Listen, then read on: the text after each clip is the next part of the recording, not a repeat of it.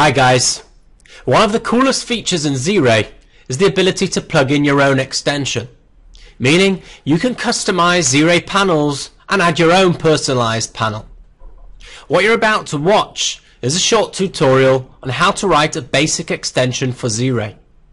In this case, we'll be writing a Z-Ray extension for WordPress that will extract and display a list of loaded WordPress plugins. By the way, it's based on the official Z-Ray WordPress extension that's bundled with Zend Server. Before we start, all the documentation you need to learn how to build an extension for Z-Ray is detailed beautifully on GitHub. So let's get started. Our first step is to go to the Z-Ray extensions folder in your Zend Server installation files and create a new folder with the name of your extension. In this folder, we're going to create a new PHP file called Z-Ray. This file is the Z-Ray extension include file, and it's a good practice to have it in the root of the extension directory. Great, now let's start to actually develop the extension. The first thing we need to do is to enter a class for declaring the new extension.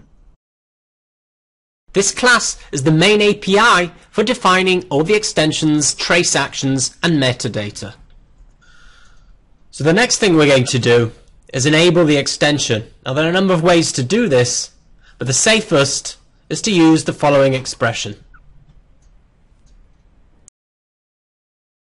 We're basically telling Z-Ray to load the extension after the WordPress initial constants method is called.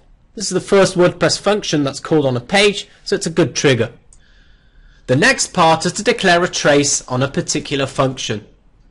This part is the beating heart of your extension.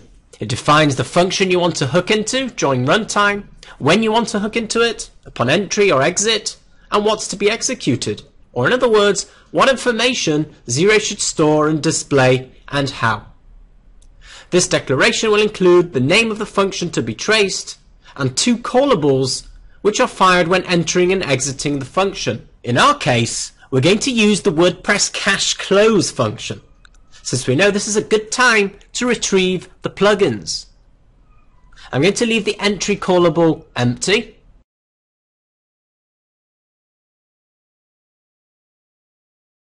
But we're going to develop the exit callable a bit. First, we're going to add two parameters that the trace function callable method accepts. Context is an array of information about the function. And storage is a reference to the storage array and is used to store the info that will actually be displayed in Z-Ray. So what do we want executed upon leaving the WordPress cache close function? We're going to start by entering the WordPress method for extracting plugin data. Now, since we don't really know what this data actually looks like, let's first dump the plugins object in a new panel and check out what it looks like in Z-Ray. And the way to do this is very simple.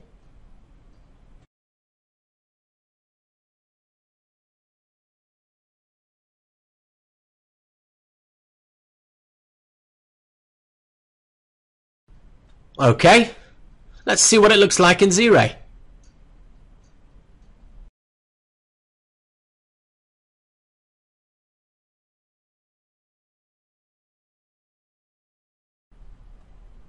We can see that a new panel was automatically added with a tree table displaying a multi-level array. Just a general note here, the extension's storage mechanism automatically generates tables based on the information stored. If an array or associative array is passed, a grid table will be created with columns as the names of the keys. If a multi-level array or an object is passed, a tree table will be created.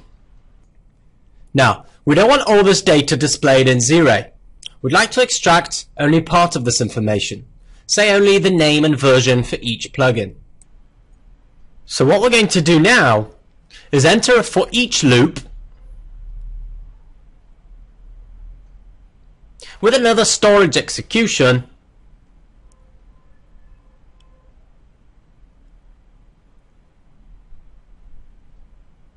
Only this time we're going to specify an array instead of the plugins object. And this array will include the plugin's name,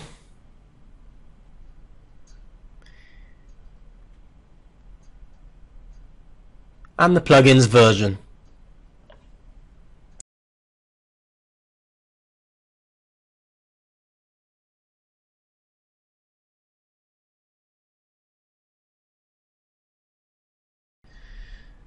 Back in the browser, we could see a new plugins panel with a grid view of the plugins and with the information we wanted to be displayed.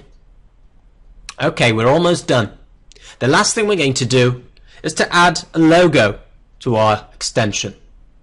To do this, you'll need to add the image to the folder containing the extension file. Please note that the image should be 24 and 24 pixels and should contain both a regular and hover state. In the extension file, we're going to use the set metadata function.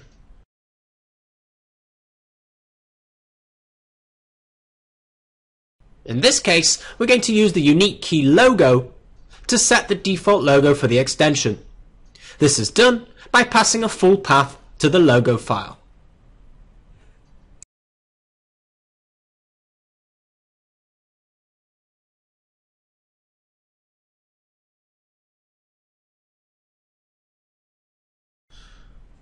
Let's take a look.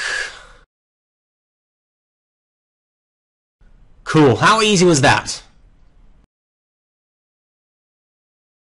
So whatever app you're working on, whatever framework or platform, you can make Z-Ray trace and display any information you want. Enjoy!